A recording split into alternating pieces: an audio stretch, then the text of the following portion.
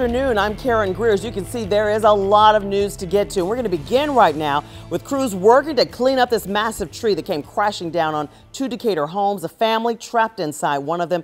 Firefighters had to rescue a teen with debris from up to his neck. Now, our Yasmina Alston live on Drexel Avenue. Yasmina, how's that family doing this noon? Karen, good afternoon. Like you said, uh, fire officials are telling us that four people were inside of that house. One person had to be rescued, but thankfully everyone is okay. No one was injured. But if you look behind me, you can see that there is still a huge mess that needs to be cleaned up after that tree came crashing down earlier this morning.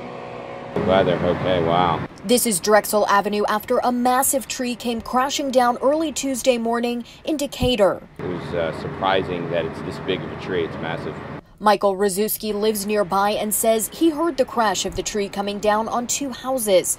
Fire officials say there were four people in one of the houses. One of those people had to be rescued. They are okay. Not wasn't even raining too hard. It was just a little bit of drizzle there, and uh, just be thankful that uh, everybody's okay. And you know, pro property's property, right? Cars are cars, and houses can be repaired. It looks like major damage. Looks like part of the siding is taken off, and you can't even practically see anything because of all the branches. The tree blocked the road as crews worked to clean it up. Residents say the neighborhood is full of big trees, and they're glad this one didn't cause any injuries. We all love our big trees, you know, but I guess there's a there's a sweet spot between the beauty of the trees and the uh, when they're going to fall on your house. Yeah, and you can see that's just a massive tree. You can't even see the other home there that that tree came uh, falling down onto. You can see crews over here.